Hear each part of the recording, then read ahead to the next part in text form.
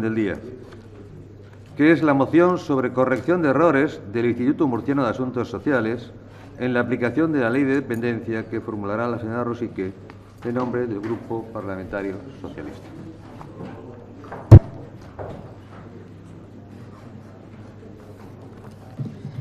Gracias, señor presidente. Señorías, no es la primera vez que el Grupo Parlamentario Socialista plantea en el Pleno de esta Cámara la siguiente cuestión.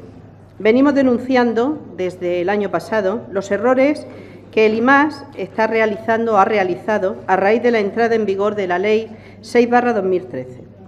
Los más de 27.000 dependientes que estaban recibiendo ayudas económicas o servicios recibieron una carta en su domicilio comunicándoles, entre otras cuestiones, la capacidad económica que el IMAS les reconocía y, en función de la misma, la cuantía de las ayudas o copago.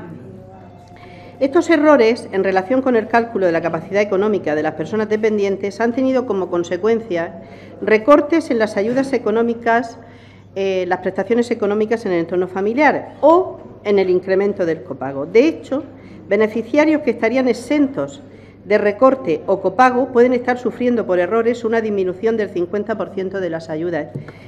Cuando debatimos la anterior moción a esta, que fue rechazada por el Grupo Parlamentario Popular, donde pedíamos la revisión de oficio de la actuación del IMAS, eh, hablábamos de ejemplos concretos donde, eh, por ejemplo, uno de los errores que cometía el IMAS es que eh, no cumplía la ley en base a que cuando hay una persona dependiente que al mismo tiempo depende económicamente de otra, su capacidad económica no se puede eh, calcular eh, agregando o asignándole toda la capacidad económica de la persona de la que depende, sino que había que dividir por el número de miembros de la familia, que la renta familiar dividida por el número de miembros de la familia.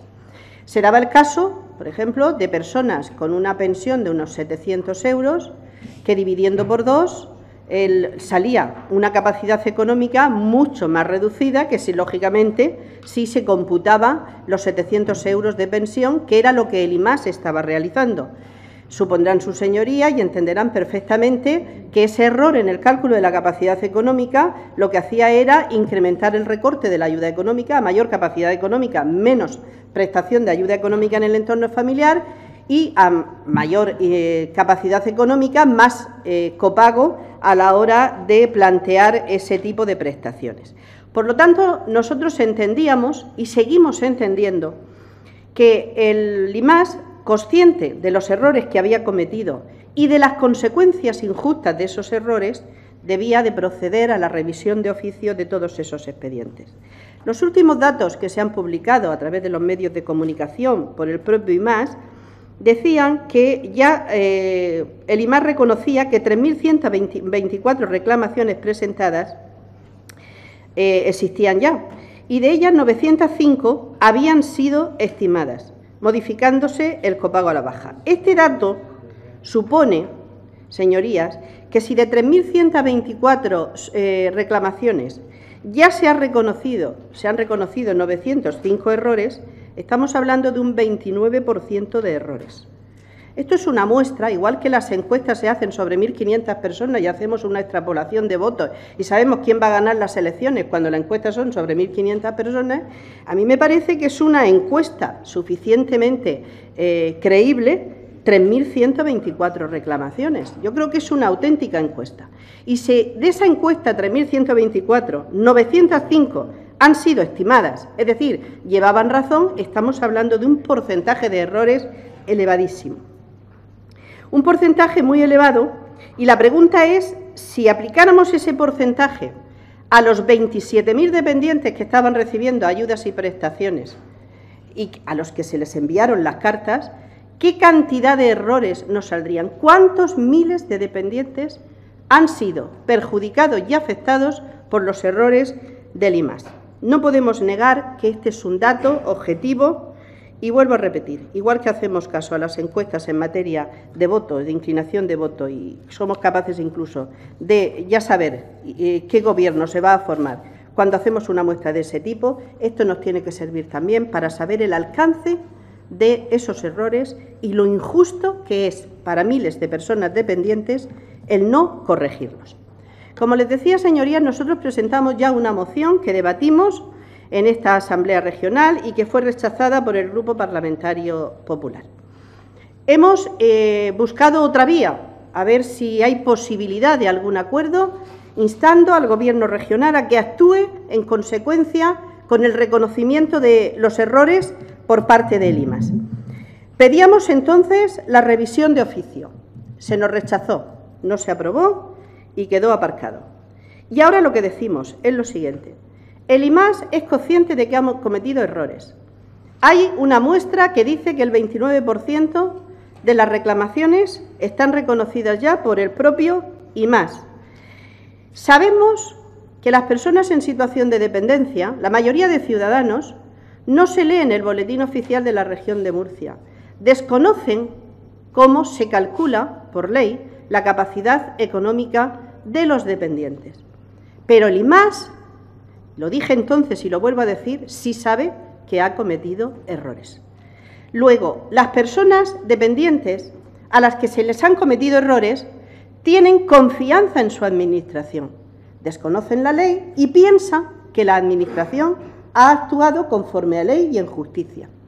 Por lo tanto, si les han dicho que su capacidad económica es la que es, pues desconocen que puede haber un error en ese cálculo de la capacidad económica. Pero quien no tiene desconocimiento es el propio IMAS. Y la Administración, el IMAS concretamente, se limita a estudiar las reclamaciones, que son pocas en función de los errores que se han cometido, y simplemente resolver aquellas reclamaciones donde efectivamente se demuestre que ha habido un error. Es decir, se cruza de brazos, se achanta, sé que he cometido errores, que he perjudicado a miles de personas en situación de dependencia, pero como desconocen la ley y no van a reclamar, no me voy a ver obligado a rectificar y, por lo tanto, a corregir esos errores y a garantizarle la ayuda económica que por derecho tienen o a rebajarles el copago al que se, eh, se lo he subido como consecuencia de mis errores. Por lo tanto, señorías, lo que hoy proponemos desde el Grupo Parlamentario Socialista es que el IMAS se dirija a todos los dependientes potencialmente afectados por los errores, que yo diría que son prácticamente todos, todos, informándoles de que hay posibilidad de que el IMAS haya cometido un error en el cálculo de su capacidad económica e indicándoles el derecho que tienen. Si comprueban que efectivamente hay un error, el derecho que tienen a reclamar, indicándole cuál es el cálculo que se tiene que hacer para que las personas en situación de dependencia puedan comprobar con la carta que el IMAS les ha mandado si realmente pueden reclamar o no porque el IMAS haya cometido un posible error. Esta actuación que el IMAS hace con el tema de las reclamaciones en cuanto a los errores es la misma actuación que está llevando con el tema de las sentencias judiciales. Hay personas que ya están denunciando en los tribunales de justicia la actuación del IMAS. Sabemos que de momento hay ya siete sentencias condenatorias a la comunidad autónoma, obligándole a reconocer el derecho a las personas en situación de dependencia, fundamentalmente por el incumplimiento del plazo legal que tiene la Administración para resolver los expedientes, que está fijado en seis meses, que, como sabemos, el IMAS lo está incumpliendo y no solo lo está incumpliendo, sino que aprovecha ese incumplimiento para aplicar con carácter retroactivo los recortes que va aprobando año tras año. Bien, el IMAS sabe que tiene ya sentencias condenatorias. Sabe, por tanto, que los tribunales de justicia le han dicho usted está actuando incorrecta e injustamente en estos casos. Teniendo casos similares, no revisa de oficio y aplica esas sentencias, esos criterios de las sentencias, a todos los expedientes que tiene en esa situación, sino que vuelve a achantarse y espera a que los ciudadanos recurran a los tribunales de justicia para cuando los tribunales de justicia le obliguen, pues entonces no tener más remedio que acatar las sentencias. Nos parece que esta actuación por parte del IMAS es una actuación totalmente inaceptable es una actuación totalmente injusta, es una actuación que lo que hace es recortar derechos a personas en situación de dependencia unos derechos que la ley les garantiza y lo que hace es una actuación, yo diría que incluso prevaricadora por parte del IMAS, que siendo consciente de la actuación injusta que está cometiendo, no revisa de oficio todos esos errores y actúa en consecuencia y en cumplimiento de la ley de dependencia en nuestra comunidad autónoma. Señorías, son muchos los problemas que tenemos con la aplicación de la ley de dependencia en esta comunidad autónoma. Son muchos. Una ley de dependencia que, lejos de ir incorporando a personas en situación de dependencia en nuestra región, lo que hace es reducir el número de personas que reciben prestaciones y ayudas. Es verdad que con los datos que se han publicado a 1 de junio y comparándolos con los datos de junio del año pasado, habrá quien haga una valoración positiva diciendo hay menos personas en lista de espera. 11.288 personas tienen derecho reconocido a prestación y no están recibiendo las prestaciones, incumpliéndose el plazo de seis meses que forma parte de las sentencias condenatorias que en estos momentos tiene ya la comunidad autónoma a través de los tribunales de justicia. Pero sería erróneo pensar eso, porque al mismo tiempo que baja la lista de espera, baja también el número de personas que están recibiendo las prestaciones o ayudas. ¿Qué significa esto? Pues lo que significa que se están muriendo tanto las que están en lista de espera como las que reciben prestaciones. Y por lo tanto no hay una mejoría, hay una ausencia de incorporación de nuevas personas que, teniendo derecho reconocido, 11.288 a 1 de junio de este año, todavía no están recibiendo las prestaciones y las ayudas. Termino, señorías, diciendo que es una cuestión de justicia. Hoy nadie se puede eh, sentir ignorante de esta situación.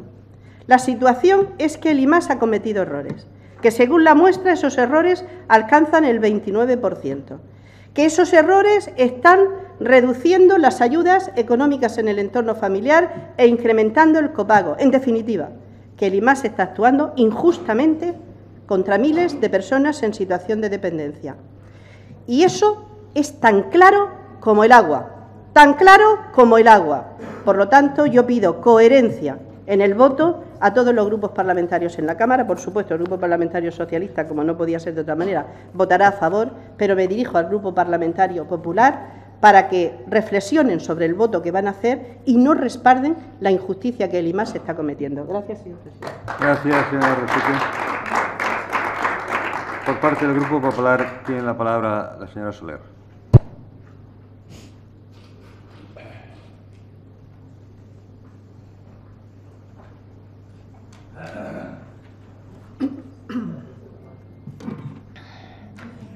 Gracias, señor presidente.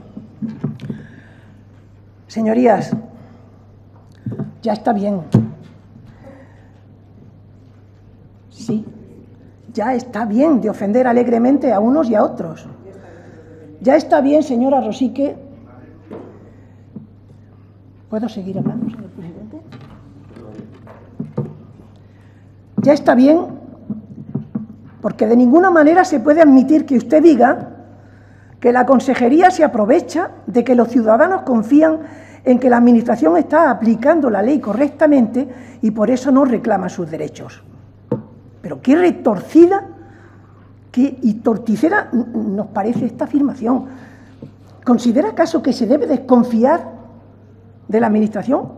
Nos está diciendo que el ciudadano debería de desconfiar sistemáticamente de la Administración. ¿Por qué se empeña en considerar tan retorcidamente cualquier error o equivocación? Para el Grupo Parlamentario Popular, la lectura de sus palabras no puede ser otra que tendenciosa y malintencionada. Porque mire, tendencioso y malintencionado es afirmar que la consejería se aprovecha de que el ciudadano no alega, dice textualmente, porque confía en que la Administración está aplicando correctamente la ley. O dicho de otra forma, el ciudadano no alega porque ignora que la ley se está aplicando mal. Tendencioso y malintencionado sería, es dar por sentado que la ley no se aplica correctamente. Queremos dar la sensación de que todo se hace con negligencia y todo se hace mal. Tendencioso y malintencionado es hablar de cifras y contar solo una parte. De esos 3.124 reclamaciones presentadas, usted nos dice que vienen de un total de 38.690, unas 38.700, que efectivamente 905 se estiman menos copago y más, dinero. Pero eso es un 3,22%, no es el 29% del que usted habla. Porque estamos hablando de 38.700. No, tampoco dice que 200... Por favor, señor presidente, pido su amparo. Tampoco dice... silencio, señorías. Tampoco dice que hay 258 de, de esas que alegaron, de esas 3.124, que siguieron igual que estaban. Y prácticamente 2.000 que se les aumentó el copago en la revisión. O sea, que se quedaron con menos ayuda económica.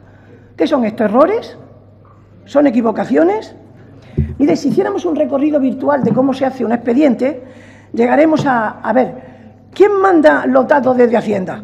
Pues lógicamente la persona que trabaja en ello y manda los datos que dispone en ese momento. ¿Quién aplica a su vez esos datos? Pues lógicamente también la persona responsable de ellos en el IMAS, que a su vez trabaja escrupulosamente con eso, con lo que ha recibido.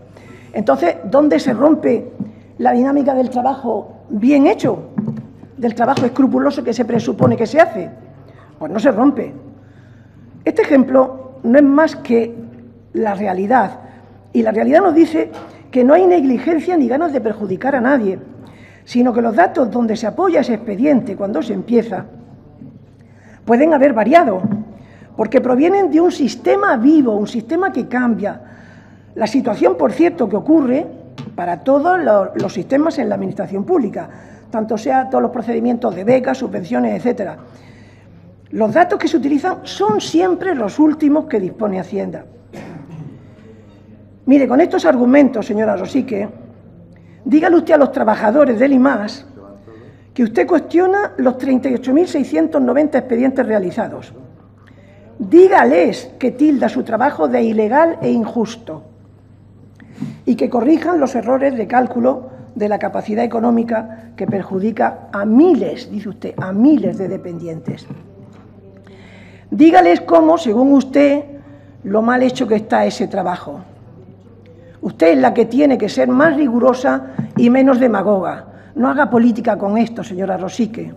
Usted sabe perfectamente que solo y exclusivamente el motivo de esas diferencias son los cambios que puedan darse en el periodo de los dos años de referencia. Cambios de los que nadie tiene conocimiento hasta que o bien eh, cuando se le comunica es el propio interesado el que cae en ello o es la propia Hacienda la que los actualiza cuando pone a punto su base de datos. Mire, el Grupo Parlamentario Popular, que sí da por bueno el trabajo, no puede aceptar su propuesta de que la Consejería se dirija a todos los potencialmente afectados. ¿Pero quiénes son los potencialmente afectados? ¿Usted cree que si se supiera que hay un solo expediente que afecta e, e, equivocadamente y para mal a, a un dependiente, se iba a emitir? Señorías, el Grupo Parlamentario Popular, que no duda del trabajo bien hecho que se realiza desde la Consejería, no considera oportuna la revisión de oficio que se propone, aunque por supuesto está abierta, como no podía ser de otro modo, a revisar cuántas reclamaciones pudieran llegar. Señor presidente, no podemos apoyar la moción. Supondría aceptar que se tiene conocimiento de que hay expedientes incorrectos, porque de ninguna manera esto es así y por eso no lo podemos apoyar. Gracias, señor presidente. Gracias.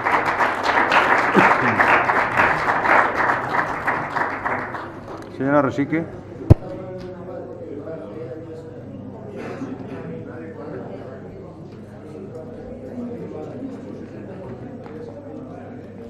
Gracias, señor presidente. Mire, señora Soler, cuando uno se sube a esta tribuna y para justificar lo injustificable tiene que acudir a la descalificación personal es que carece de argumentos. Y usted lo ha hecho esta mañana, señora Soler. Usted lo ha hecho esta mañana. Guarden silencio, señorías. Tranquilidad. Ya está bien, claro que ya está bien. Ya está bien de incumplir la ley de dependencia, señorías. Ya está bien de incumplir la ley de dependencia. Faltaría más. Faltaría más. Dice usted que mi intervención es torticera porque lo que yo estoy diciendo es que los ciudadanos tienen que desconfiar de la Administración. Sí, sí. No, no, mire usted. Torticero es decir que, hombre, hay 900 eh, reconocidas de 38.000. Eso es torticero. ¿Y sabe usted por qué es torticero? Porque 900 son las reconocidas de 3.200, no de 38.000.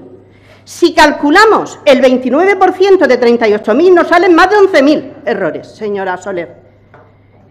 Hay que saber hacer las cuentas y las matemáticas, porque si no, lo que se está haciendo es torticerismo, señora Soler. Usted no puede aplicar las 900 en comparación con 38.000. Por ciento, no habían 38.000 personas con ayudas y prestaciones. Le tienen que actualizar los datos. En aquella fecha, cuando se aprueba la ley y mandan las cartas, eran 27.000 personas las que estaban recibiendo las ayudas y prestaciones. Hasta eso lo lleva usted mal apuntado, señora Soler. Dijo la consejera entonces, solamente corregiremos los errores que detectemos de las personas que reclamen. Dijo aquello. El 29% de 3.200 es una muestra, señora Soler. Si hay un 29% en esa muestra, eso es una muestra. Y en matemáticas lo es. Le guste a usted o no le guste. Y esa muestra trasladada a 27.000 nos salen miles de personas potencialmente afectados por esos errores. No me ponga usted por delante a los trabajadores, porque la decisión de revisar es política, no de los trabajadores. Yo puedo admitir que haya habido errores sin intencionalidad, claro que puedo admitirlo. Lo que ya no puedo admitir es que sabiendo que se han cometido errores no se corrijan, porque ahí sí que hay intencionalidad, señora Soler. Ahí hay intencionalidad política, no de los funcionarios, señora Soler. Y eso es lo que no admitimos desde el Grupo Parlamentario Socialista. Nosotros lo hicimos con buena intención. Oiga, se han detectado errores, corríjanlos. Y la respuesta fue, tienen conocimiento los ciudadanos. Está recogido en, la prensa escrita, desde el IMAS. Se dijo, tienen conocimiento por el BOR y por la prensa. Que tienen conocimiento los ciudadanos de cómo se ha hecho el cálculo de la capacidad económica. Es que todos los ciudadanos se leen el boletín oficial de la región de Murcia todos los días. Señora Soler, y saben por la prensa cómo tiene que calcular la capacidad económica la consejería. Pero por el amor de Dios, si es que nos ofenden esas declaraciones. Eso sí que ofende, señora Soler. ¿Eh? O que diga la consejera entonces que solo va a actuar en base a las reclamaciones, sabiendo que ha cometido errores, que se han cometido. Pues claro que los errores pueden no ser intencionados. Yo parto de ahí. Y esa fue la primera intención del Grupo Parlamentario Socialista. Ahora ya no se puede llamar a ignorancia. Se sabe que se han cometido errores y se mantienen los errores. No se corrigen si no hay reclamación. Señora Soler, no me pongan a los trabajadores por delante para poner excusas a una responsabilidad política de primer orden e incluso injusta responsabilidad política. Por lo tanto, esta moción y mi intervención no solamente es que es intencionada, es muy intencionada Faltaría más en defensa de las miles de personas que pueden haber sido perjudicadas por los errores del IMAS. Claro que sí. Y no solamente es intencionada, es bien intencionada. ¿Por qué? Porque va a favor de las personas que pueden haber estado perjudicadas por el IMAS. Y me remito al 29% de la muestra, señora Soler. Al 29% de la muestra. Que ustedes quieran justificar eso es su responsabilidad nosotros, desde luego, ni lo justificamos ni lo amparamos y exigimos la corrección de esos errores, porque esos errores, señora Soler, está perjudicando a miles de personas. Esos errores, señora Soler, están recortando las ayudas económicas en el entorno familiar. Esos errores están incrementando el copago a muchas personas. en situación de dependencia. Y ya basta con que el Gobierno regional no cumpla los plazos que tiene por obligación de ley a resolver los expedientes, que aproveche ese incumplimiento para aplicar recortes con carácter retroactivo y que encima, siendo consciente de que han cometido errores y que esos errores perjudican a miles de personas, no los corrija de oficio. Intencionada, sí, y bien intencionada, también. Gracias, señor. Gracias,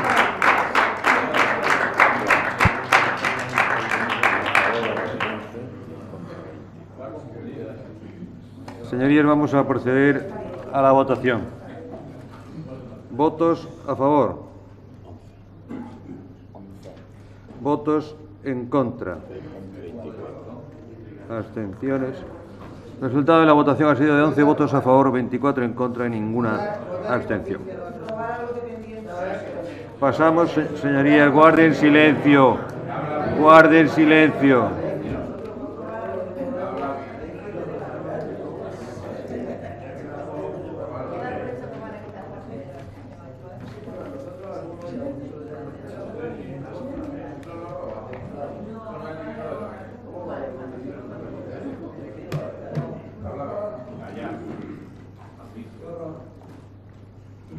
Espero que los ciudadanos que estén viendo este pleno nos entiendan.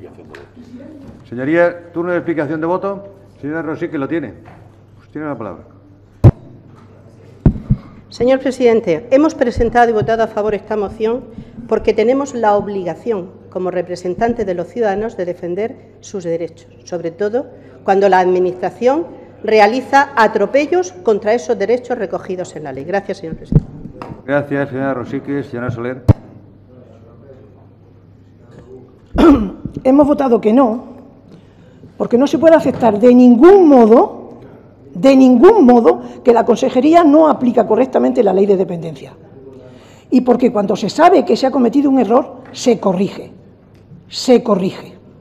Se ha votado que no, porque los ciudadanos lo único que tienen que conocer es si sus datos, los que figuran en el expediente, se ajustan o no a la realidad y denunciarlo. Cuando esto ocurre, se corrige.